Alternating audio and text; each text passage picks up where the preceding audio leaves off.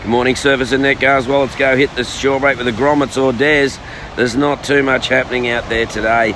There's supposed to be a new swell about a metre plus on the open beaches from uh, from a bit of uh, that wind swell, but uh, not really too much showing itself here.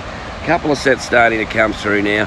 8.30 high tide, 2.30 low tide, the water temperature 25 degrees, south to southwest winds at the moment, turning south to southeast later on. Now here is the only set I've seen in about 10 minutes coming through. The pick is going to be D-Bah and those Tweed Coast points. There's going to be a few there.